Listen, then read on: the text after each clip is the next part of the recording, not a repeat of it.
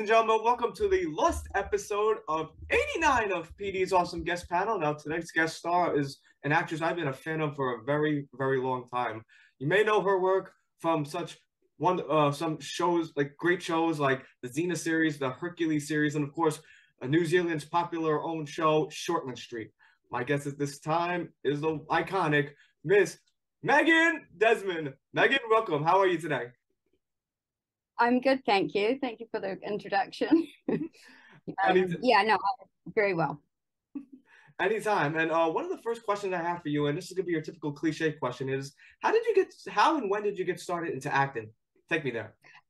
Um, so like growing up uh, uh, as a kid, um, I grew up in a really small town, and there wasn't much to do up there. So I would like go off into my bedroom and just like pretend that I was uh, like in all the latest shows that I love to watch and um like you know like um kind of like imagine um doing scenes with like Johnny Depp and stuff like that that and um so I always wanted to be an actress and um but I knew that like where I lived wasn't going to be any good um because there was obviously no industry um up there.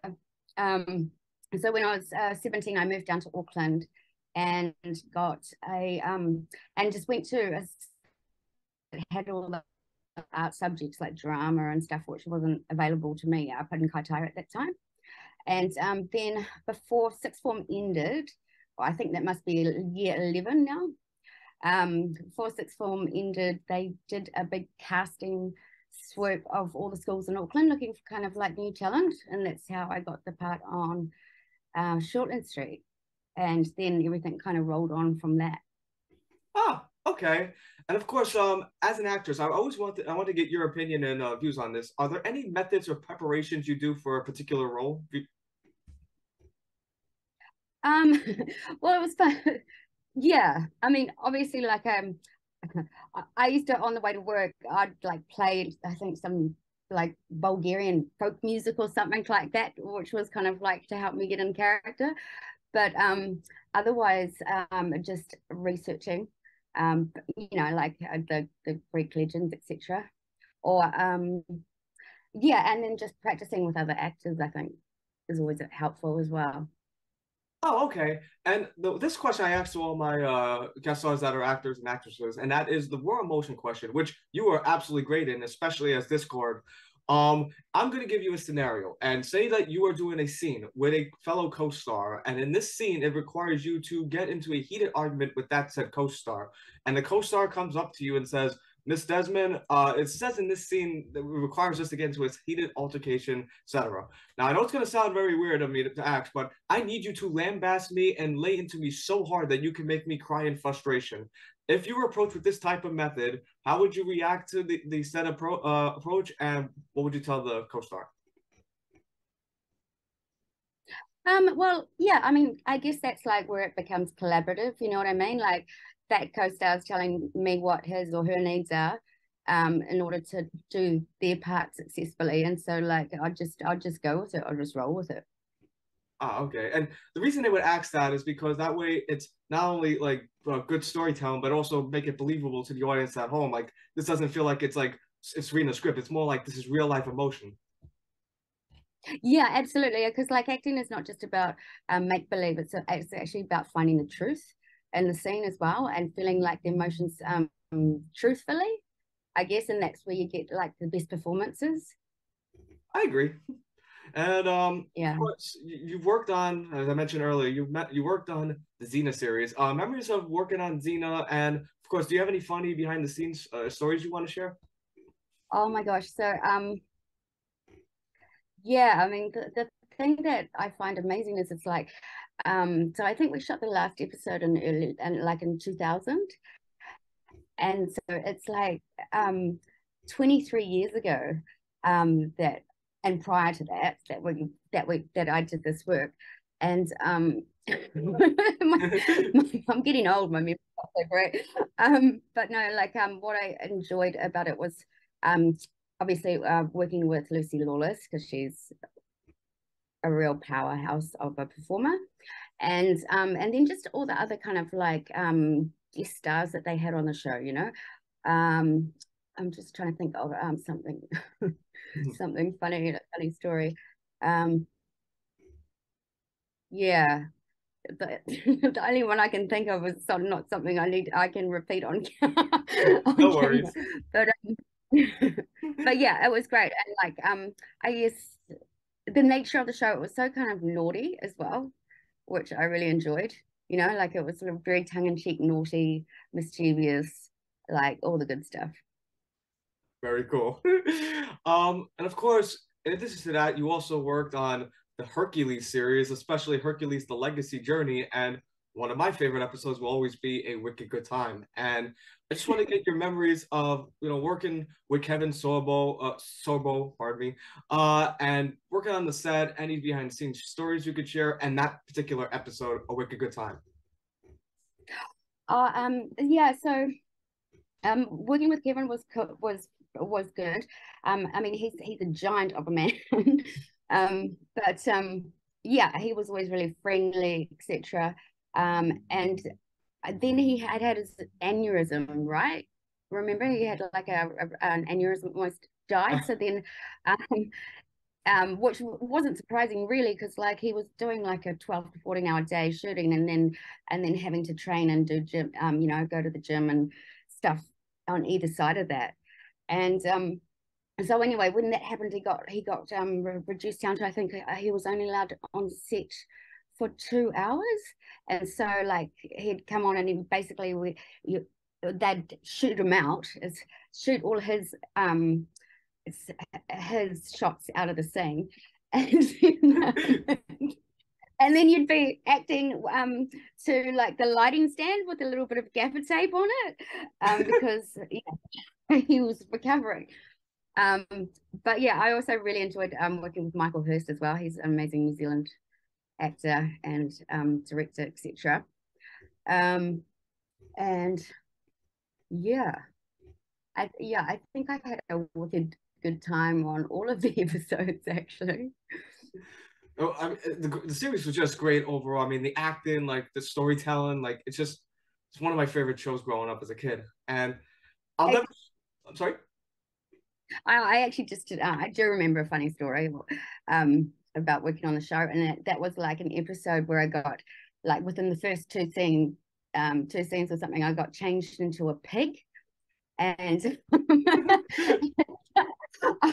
like it was um yeah, and then for the rest of the episode was like a pig and then a chicken and then some, you know, um, and so I remember going in because we had to do the voiceover, right? Um, voiceovers, and there was like a, a list of um, um, directions, um, director's notes of what sounds they wanted to capture or what lines they wanted to capture to then match with the with the you know the video.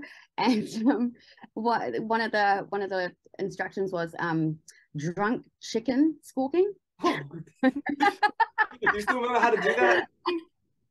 I was like okay drunk chicken squawking. I think that so I was, I was like, for me, that's a bar, bar, bar, bar, but it, it, was honestly like the notes were just so hysterically funny because they were so um ridiculously, you know, abstract. Why does everything happen like to Discord? I noticed that, like you mentioned before, she gets changed to a pig, a chicken, and then in A Wicked Good Times, like when Hayla betrays Discord. She goes, you know what you are, Discord? A square. And she literally puts her inside a square. it's like, why does all this stuff happen in Discord? um, just lucky, I guess. no. um, I mean, I guess it's the nature of the like, um, you know, that's what I really enjoyed was working with Kevin Smith um, and Joel Tobeck and and being part of that like little tr- baddies trio on the shows. Um, and uh, yeah, I mean, obviously, with you've got the it's very much a goodies versus baddies kind of scenario with the with the type of show it is. Um, and the baddies always have to lose at the end of the day. True, I, and I just love your delivery on um all on both Hercules and Xena though. Like I remember to this day, like the lines from A Wicked Good Times, or like when you were trying, I think it was I can't remember what the name of the daughter was. I think it was Hercules' daughter, where you try to get her onto the dark side and they were questioned like I think Hayla and the other person would question like, is this the right one? You're like, Of course, I'm sure. Do you, do you not see how much unexpressed rage she has? Unexpressed rage that you're gonna help her channel. I think everyone's got like unexpressed rage. It- it's just, it's just so like I just love your delivery on it. It's like it's so vilified. Like it's such a way like a villain delivers like the, the, the scene. Like and especially at the end, like when Hala betrays Discord and you're like, how dare you? After all I've done for you, I am a god.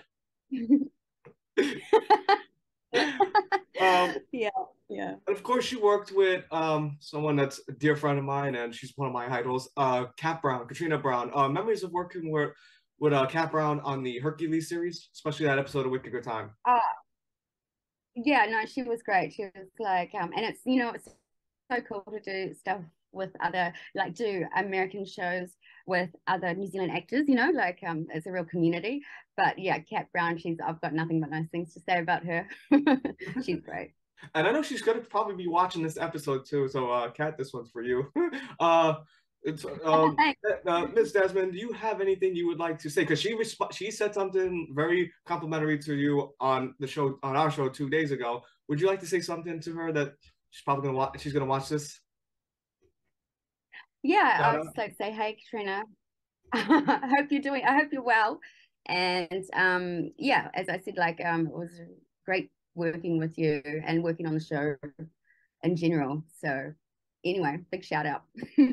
Absolutely, and much and, much like you, she she's just a wonderful human being though. Like she can like it, it's like the opposite. Like you, you play these vile villains, but you know like. You, you both are like based on how I'm interviewing right now. Like I can honestly say like you two are like the biggest saints. I can I can honestly say I can with.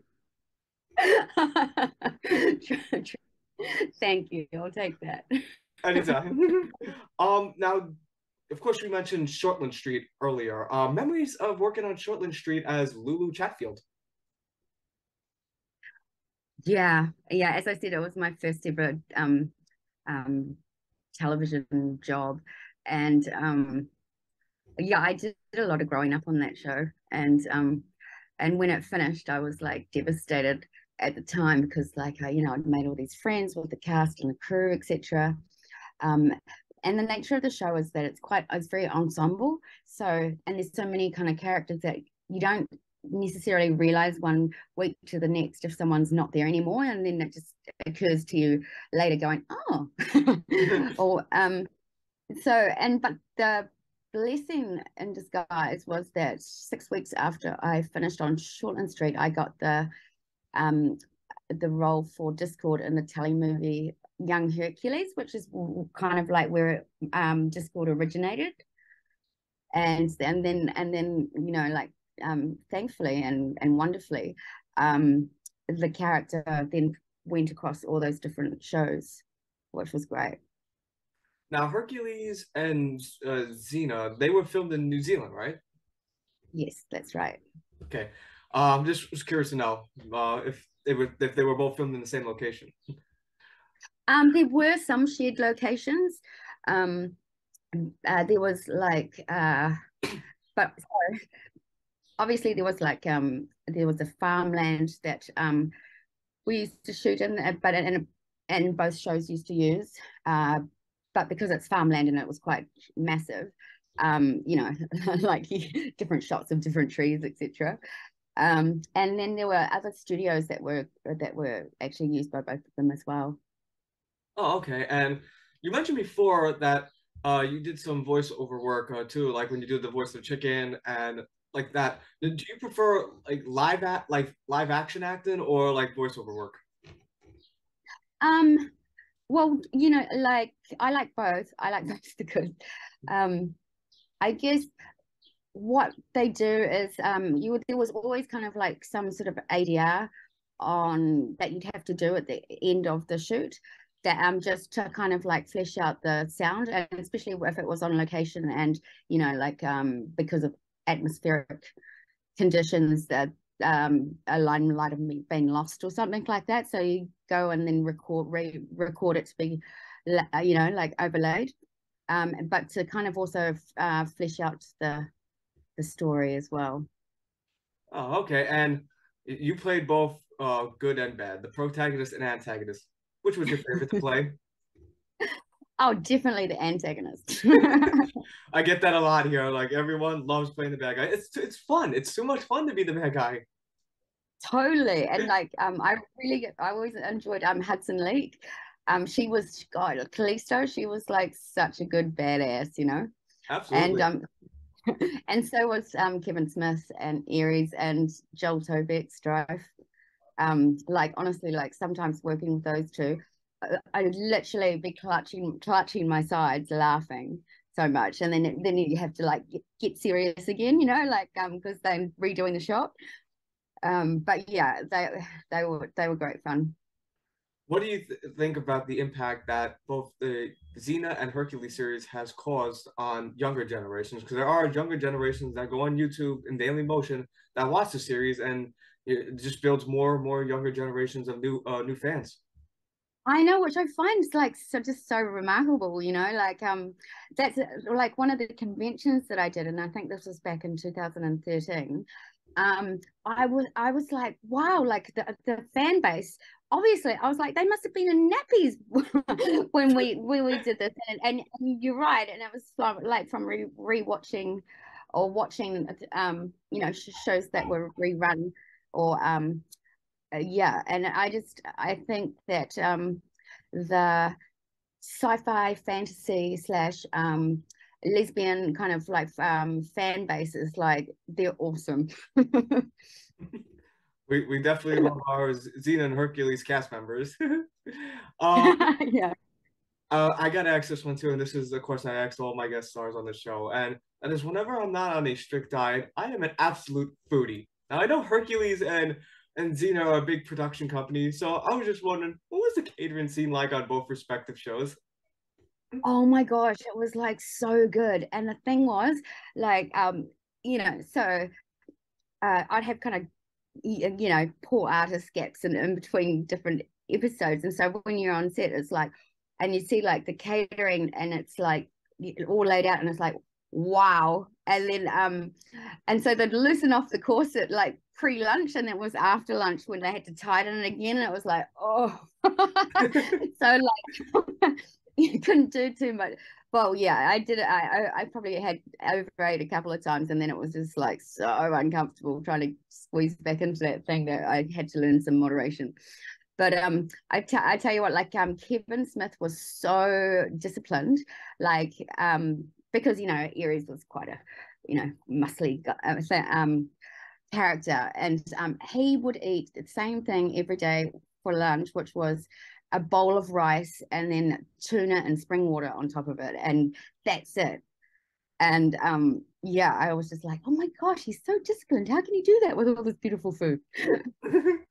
Did you have a favorite meal in catering?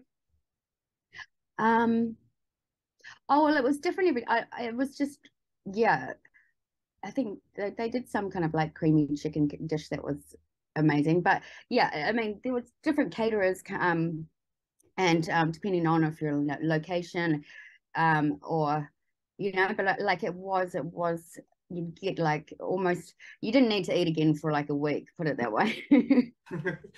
um, of course. Um, uh, did you know that? Um, Cat Browne and I talked about this too. Like when I had a run, like how Power Rangers, like they took the development of Power Rangers and the location of it and brought it to New Zealand.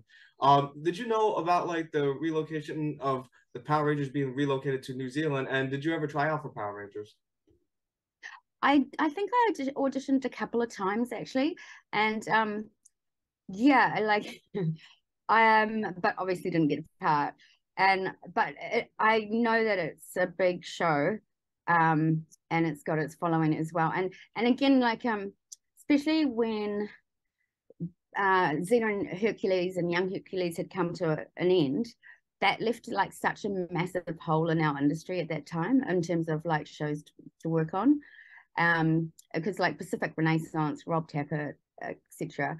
Um, I mean, they um, and Eric, um, they brought so much uh, money into our, our economy, you know, like and um, especially over the period of however long it was that they were filming in New Zealand, it was just such a great opportunity, you know, like for New Zealand actors to get onto American an American series. Um, and yeah, so Power Rangers, um, I, I think, I yeah, I tried out for at least one part, and I remember sitting in the waiting room, and looking around at like you know six girls who are like vaguely look similar to you. They're already kind of pretty, and um, there's only one part, and um, yeah, it was very much like that. Was was it the same one that uh, Katrina Browne was part of, which was I believe not Power Rangers Ninja Storm? Uh, I'm not sure. Like it's uh, what what um run of the show they were up to at that stage. And then um as I said, like I remember there being like a at one stage there's a real big lull in the New Zealand industry of um I think because maybe the tax breaks had changed or or uh, um uh, we weren't as competitive to like places like Canada as what we are now in terms of tax breaks and stuff like that. So um so yeah there was like about a six year lull that, where there really wasn't much going on in the in industry and um it was hard for lots of people um but yeah now it's kind of like it's quite different because um they've really realized like well new zealand has realized that um you know the money that it can bring to the economy like a big overseas job is like bring bring so much work for people and um, as I said cash into the economy. So now they've like made it much more what's the word um enticing to come and shoot shoot shows here now? I see what you mean yeah and um mm. did you ever get to work with because uh, Kat Browne worked with her on Power Rangers Ninja Storm and I believe she's also a New Zealand actress and that is uh, Katrina Devine Oh yes, I worked with her on um, Shortland Street because we oh. were like besties on Shortland Street. It was um, Minnie and Lulu. She was Minnie and I was Lulu. What What was it like working with Katrina Devine? Um, it was great. You know, like um, we actually we hung out because a lot of we had so many scenes together. Um, we actually became really good friends, like on and off the show. And um, so yeah, we'd hang out and do lots of stuff together.